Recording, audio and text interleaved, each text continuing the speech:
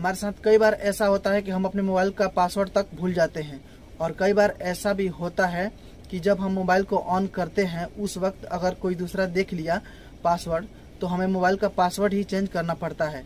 इन दोनों समस्याओं को दूर करने के लिए एक बंदे ने गजब का दिमाग लगाया। उन्होंने किया क्या? टाइम को पासवर्ड में कन्वर्ट कर दिया। उन्होंने एक एप्लीकेशन बनाया।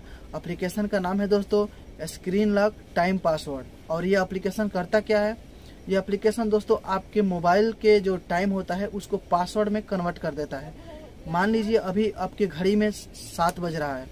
तो जैसे आप अपने मोबाइल को निकालेंगे जेब से और देखेंगे कि सात बज रहा है तो क्लॉक के माध्यम से मतलब टाइमिंग के माध्यम से आप सेवन क्लिक करके आप पासवर्ड को अनलॉक कर सकते हैं।